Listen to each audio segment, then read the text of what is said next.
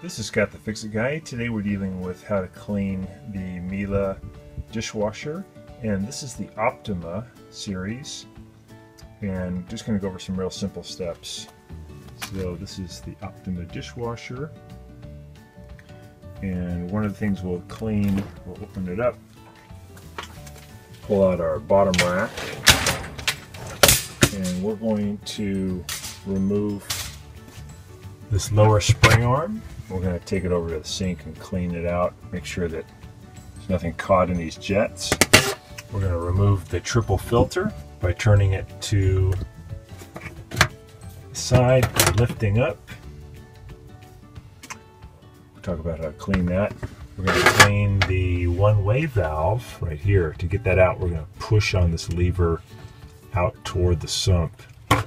It'll come out about 45 degrees and we can lift it out. And then you can also take out the little housing that connects to it. Same thing, just kind of lift it out. You can take a look in there to see how the impeller is doing. Make sure there's nothing caught down inside the impeller well. And then we'll also be taking off the upper spray arm. And to do, to do the upper spray arm, we're going to just remove this little nut. Turn this counterclockwise. So we're turning it, in this case, toward toward our right. It'll undo it, and we can get this out and clean it. We can see that this one does have a little stuff caught in there. So we're going to talk about how to clean that.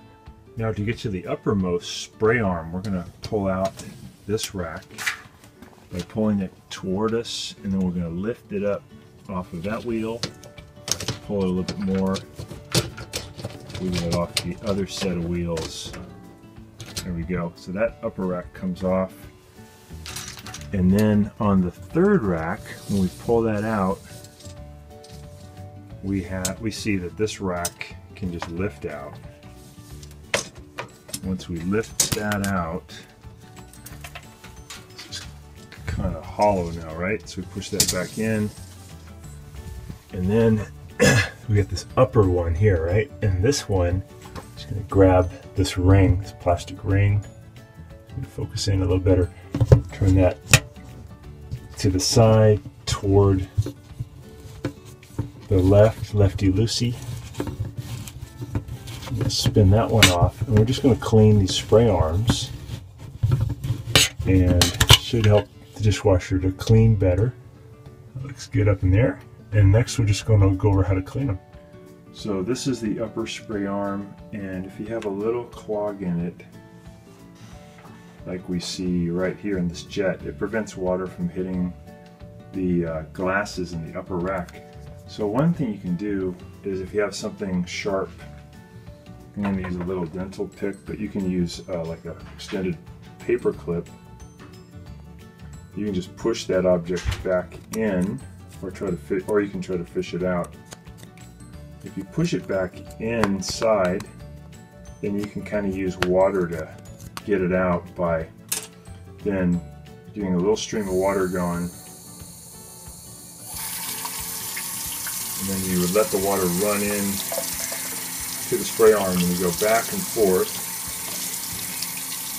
and then you can turn it upside down and then it should fall out. To do that a couple times. Put the water in there, back and forth. More water, turn it upside down, back and forth. That'll get rid of that object. This is the uppermost spray arm, and we're just looking in these jets to make sure nothing caught in there. There's one here too. One on the bottom. Making sure nothing's in there. That looks great. That's the one that is really rinsing your utensils in the in the third upper drawer.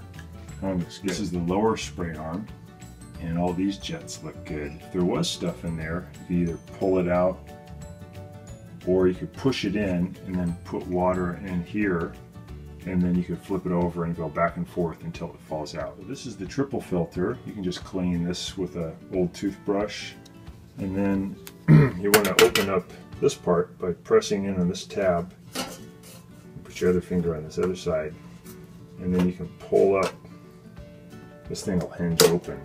So once it hinges open, you can just get in there with a toothbrush and some water and some soap and just clean all on the perimeter. Just get all that junk out of there. So this is the one-way valve and you want to make sure that that little ball bearing can move around freely in there. There's nothing caught. Sometimes you get a seat caught in there. And also pull this rubber piece out and clean in there. Just make sure you reseat it.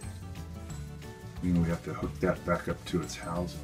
We can see that the piece of rubber has a little pocket for this plastic tab to fit in, so we know it only fits one way. We're just going to push those together. So once they're hooked together, it looks like that. So we've got everything clean. We're going to put it all back. First, we'll do the upper spray arm. So this is the highest up one in the system.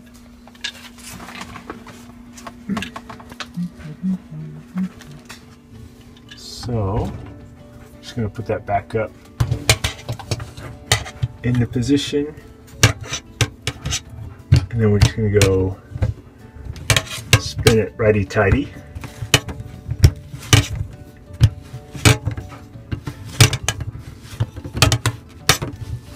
And it'll, it'll lock in, you'll feel it. Just get your finger tight.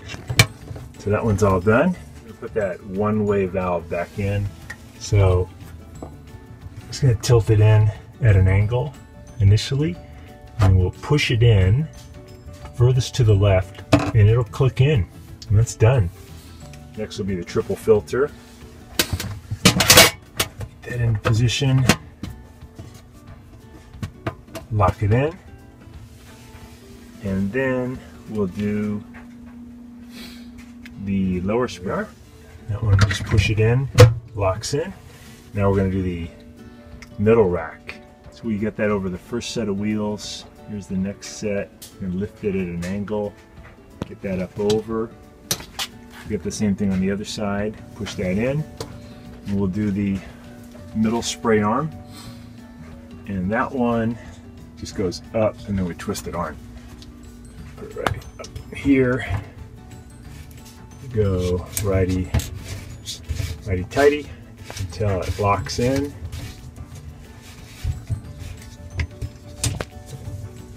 spins good.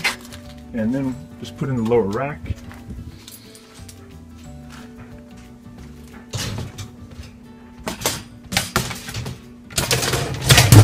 And you have a nice clean dishwasher ready to go. Thanks so much for watching and please subscribe when you get a chance. Thank you.